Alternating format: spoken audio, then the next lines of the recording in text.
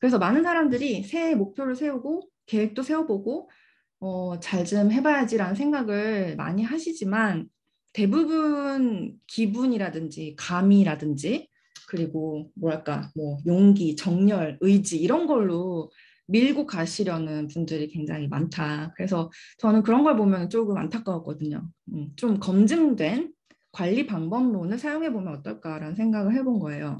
그러니까 기업에서 많이 사용되는 관리 방법론.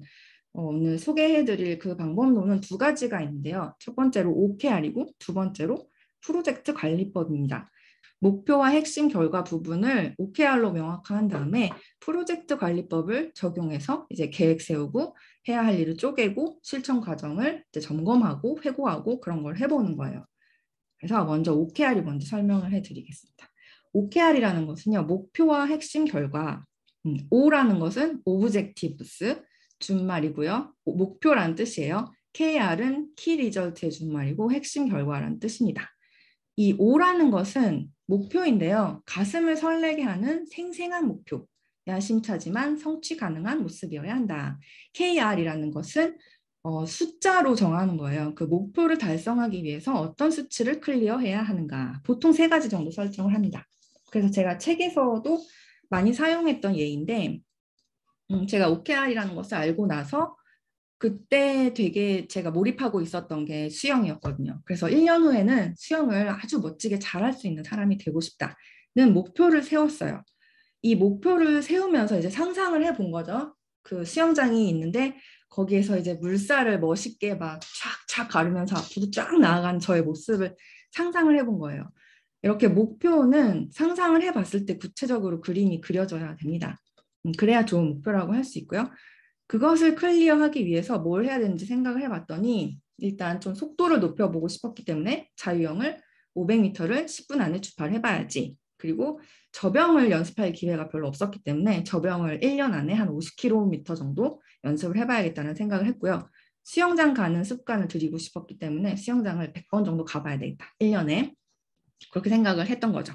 그래서 1년 후에 제가 이 핵심 결과를 모두 다 100% 달성하지는 못했어요. 그래도 1년 후에 수영, 수영 실력이 확실히 늘었고요. 그리고 수영장에 가는 습관이 들었습니다. 그래서 어, OKR이라는 게 이제 인텔에서 만들고 구글에서 사용한다. 그러니까 기업의 전유물이라고 생각하기 쉽지만 우리 같은 개인이 사용해도 충분히 효과가 있구나라는 것을 저의 경험을 통해서 알게 되었습니다. 그리고 중요한 것은 이 과정이 하나도 고통스럽지 않았다는 거예요. 되게 즐거웠고 아침에 눈 딱 뜨면 아, 오늘도 수영장 가야지라는 생각이 들었다는 겁니다.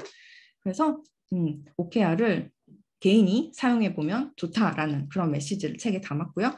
두 번째로 프로젝트 관리인데요. 그러니까 우리가 해야 되는 일, 아까 말씀드렸듯이 성공 기준이 불분명하거나 이게 언제 끝나야 될지 모른다거나 그렇게 애매모호한 일은 도중에 좌절하기 쉬워요. 그렇기 때문에 프로젝트라는 것을 알고 우리가 하고 싶은 것을 프로젝트로 설정하고 나서 관리를 하면 훨씬 성공 가능성이 높아진다라는 이야기를 드리고 싶고요. 그러기 위해서는 일단 프로젝트의 정의를 잘 짚고 넘어가야 됩니다. 그래서 프로젝트라는 것은요.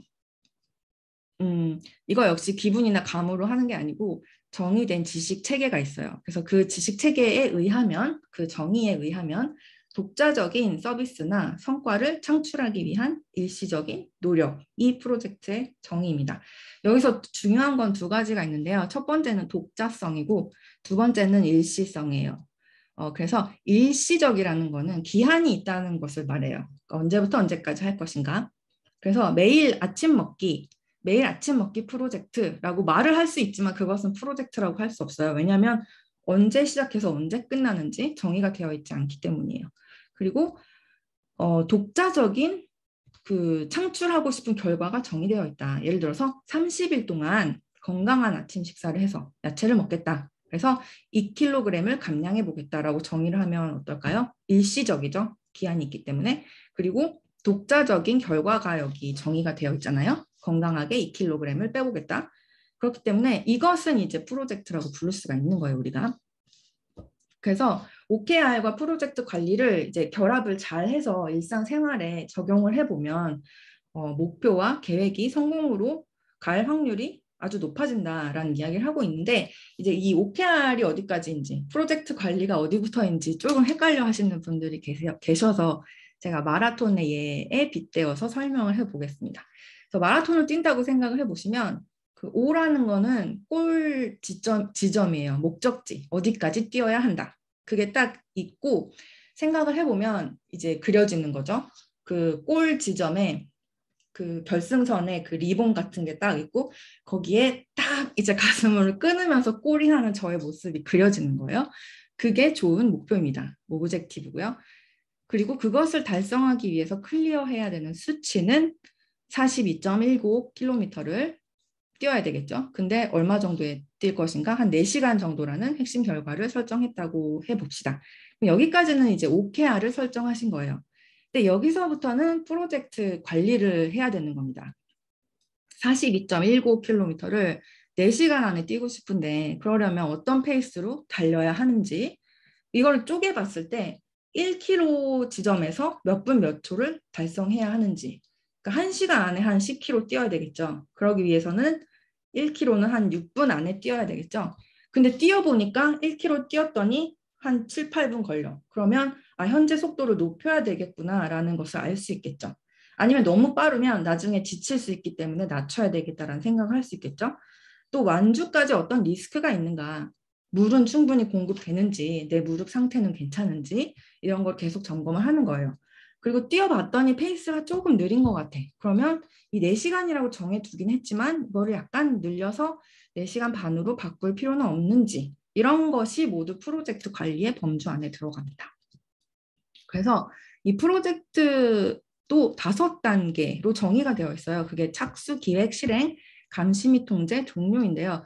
이거를 개인들이 적용하기 쉬운 방식으로 약간 변경을 해서 제가 다시 정리를 해본 게 오른쪽에 있는 내용이에요. 그래서 뚜렷한 목표와 핵심 결과, 결과를 설정하는 게 첫 번째 단계고요. 두 번째로 실행 계획을 수립하셔야 되고 세 번째로 실천을 습관화하셔야 되고 네 번째로 꾸준하게 점검하고 다섯 가지로 회고와 학습을 한 다음에 뭔가 배운 게 있다면 다시 여기로 돌아가서 다시 이렇게 뺑뺑뺑뺑 돌리는 겁니다.